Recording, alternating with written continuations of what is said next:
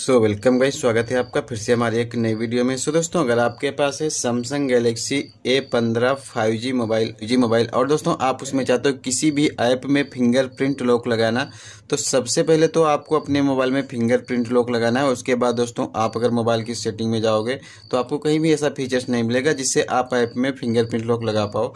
तो दोस्तों, ऐप में फिंगरप्रिंट लॉक लगाने के बाद दोस्तों, आपको जाना है प्ले स्टोर में। प्ले स्टोर में जाने के बाद आपको सर्च बॉक्स में लिखना है ऐप लॉक फिंगरप्रिंट जैसे दोस्तों लिख के सर्च करोगे, ये वाला एप्लीकेशन है इसको आपको डाउनलोड करना है, यानी कि इंस्टॉल करना है, उसके बाद ओपन करना है। ओपन करने के बाद यहाँ पे अलाउ करना है। अब दोस्तों आपको यहाँ पे स्टेप बाय स्टेप देखना है, एक भी स्टेप मिस नहीं करना है।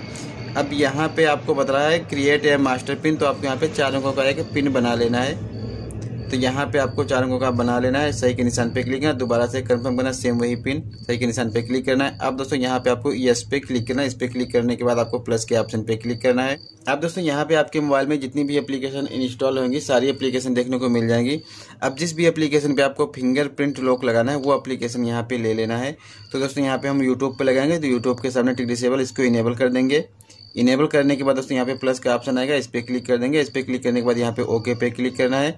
ऐप लॉक वाली एप्लीकेशन के सामने टिक डिसेबल इसको इनेबल करना है यहाँ से ओके करना है ओके करने के बाद फिर से आपको परमिशन देना है, इसके सामने टिक डिसेबल इनेबल करना है ओके करना है ओके करने के बाद यहाँ पे अलाउ कर देना है। तो सक्सेसफुली जो है यूट्यूब पर लॉक लग जाएगा, यानी कि फिंगरप्रिंट लॉक लग जाएगा आपको बैक आना है। बैक आने के बाद यहाँ पे दोस्तों देख सकते हैं यूट्यूब पर हमने लगाया तो यूट्यूब यहाँ से देख लेंगे। तो दोस्तों यहाँ पे ये रहा हमारा यूट्यूब इस पर क्लिक किया क्लिक करने के बाद दोस्तों यहाँ पे देखो यूट्यूब यहाँ पे ये रहा ये रहा फिंगर सेंसर अब दोस्तों जैसे फिंगर सेंसर में टच करेंगे, तभी दोस्तों हमारा जो है यूट्यूब ओपन होएगा। तो